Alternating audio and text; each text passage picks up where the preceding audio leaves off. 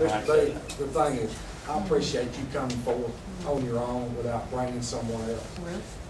And, uh, and it's not a jab at you. It certainly is, oh, it's not a jab to No, Brent. I appreciate you saying that. This is good. Let him I, talk. I, I believe that Ms. Bartlett had came forth first, and this is my honest opinion.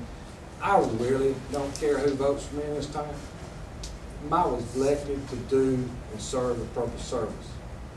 Okay, if this is posted on YouTube or anything, you will get sued.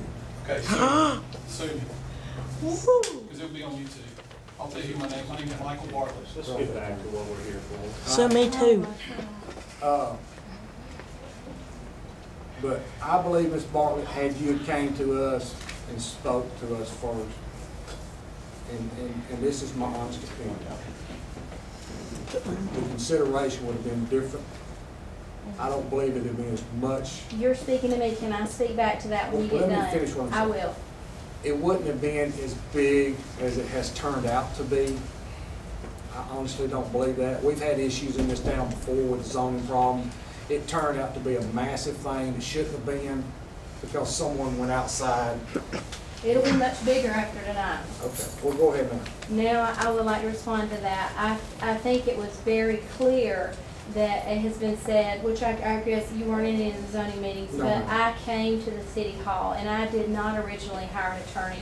I hired an attorney when I found out that the previous deacon at Henry Michael, had passed away. And now there's a, there was another deacon, uh, David Riddlesberger, who, I- the only reason I found that out, that he was a deacon, is because I sat down and read the paper just like everybody else Yes, that a deacon passed away, and Pat McCool was saying, we're going to miss the member, a member of our church, a deacon of our church, and the chairman of the zoning board. Well, you picture yourself living in my house. I'm getting ready to go up before the zoning board, Think thinking just naive, like I'm gonna tell them everything. Now, before you answer, listen to me. Sure. So I, I panicked. I mean, there's no question. So there is, there wasn't even an issue with, yes, Misty is going to get on the phone and get a hold of a property attorney. I don't have the money just to throw away. No way. I'm a single mom. But I knew, I have, Houston, we've got a problem. That's when the attorney stepped into the picture. And if he had not, I remember very well, and it's all recorded, that previous city council meeting when Craig said those things to me. If I had not had my attorney, I know uh, what would have happened. One zoning mi- board meeting had already gone through and members of the church refused to recuse themselves. So how can you sit there and tell me like if I would have talked? I tried to talk. I was told to direct, direct all of my concerns to a member of Enon Baptist Church. How does that work out? From the zoning board? from the mayor. So I was told to direct everything. I have letters, I have everything. Trust me, my laptop is full, and even in the safety deposit box at the bank, I have got a lot. And I worked very hard to try to talk to the city and had no idea what was happening. And I understand if you didn't know, realize all that, I- I but be really careful because Right, well, I'm just telling you, I, you don't have to worry about that because uh, Misty, matter of fact, I, I've never hired a property, property attorney. I really thought moving into this house that actually Morris would be very proud that I would take care of this home and I had no idea all this was gonna happen. I, I, I promise you, I would have rather lived in Gardendale and said, go Enon Baptist Church, thumbs up, go Morris City, God bless you, everything, if I was outside of this situation. But I'm literally right here in the middle, and I'm gonna do everything I can to protect myself, and I'm, I'm not done. And I'm, I'm committed to protect myself and my home, because I know that this is only a step.